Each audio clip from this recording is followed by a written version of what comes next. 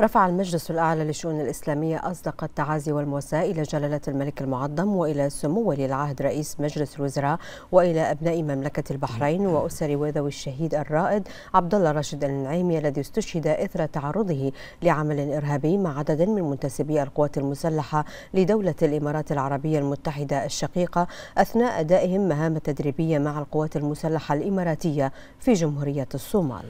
كما رفع المجلس أسمى آيات التهاني والتبريكات إلى مقام جلالة الملك المعظم وإلى سمو ولي العهد رئيس مجلس الوزراء بمناسبة الذكرى الثالثة والعشرين لميثاق العمل الوطني والذكرى السادسة والخمسين لتأسيس قوات دفاع البحرين. واستذكر المجلس في جلسته الاعتيادية الرابعة عشرة التي انعقدت برئاسة معالي الشيخ عبد الرحمن بن محمد بن راشد آل خليفة رئيس المجلس الأعلى للشؤون الإسلامية استذكر ميثاق العمل الوطني وما تضمنه من مبادئ ثابتة وتوجهات سديدة تعكس الرؤية الثاقبة لجلالة الملك المعظم وتنبع من روح المجتمع وتعبر عن آماله وتطلعاته وتتصل بتاريخ البلاد وعاداتها وتقاليدها وتحفظ هويتها وقيمها. مما شكل منعطفا تاريخيا مهما في تاريخ البحرين الحديث.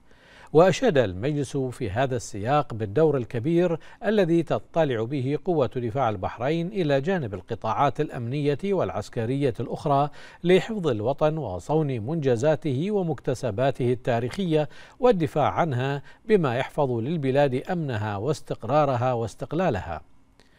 وبمناسبة قرب حلول شهر رمضان المبارك دعا المجلس إدارتي الأوقاف السنية والجعفرية إلى تهيئة الجوامع والمساجد في المملكة لاستقبال الشهر الفضيل وتزويدها وخدمتها بكل ما تحتاج إليه. وبالتزامن مع احتفاء العالم باليوم العالمي للأخوة الإنسانية أشاد المجلس بالمساعي الطيبة لمملكة البحرين في هذا المجال بقيادة جلالة الملك المعظم. وأكد أن التعايش من القيم الأساسية الكبرى التي حث عليها الدين الإسلامي الحنيف داعيا إلى تضافر الجهود الرسمية والأهلية لإشاعته وإعلائه في النفوس وفي المناهج الدراسية والبرامج الإعلامية والثقافية.